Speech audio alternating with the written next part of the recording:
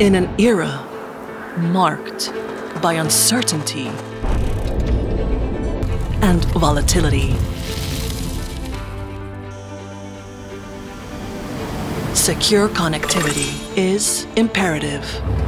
We rely on it to manage crisis and contribute to the defense of Europe, ensure surveillance and protect critical infrastructures, drive new business opportunities and bridge the digital divide.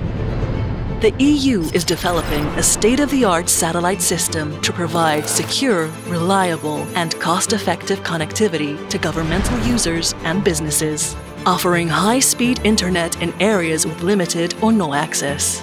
The system is called Infrastructure for Resilience, Interconnectivity and Security by Satellite, or IRIS Square for short, the first ever public-private partnership of its kind. The IRIS Square constellation will consist of around 300 satellites at various orbits, supported by strategically located control centers across the EU both governmental and private users will benefit from the best possible service for their needs. Connectivity services will be provided through existing capacities and full Iris Square services in 2030.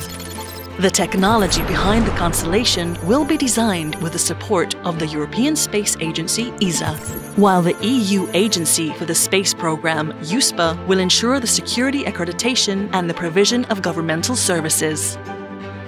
With Iris Square, Europe will no longer depend on others for satellite connectivity. It will lead in technology and security, environmental sustainability, and high-skilled job creation. Iris Square will ensure secure communication with global coverage, connecting all European citizens. Iris Square, connecting Europe, connecting the world securely.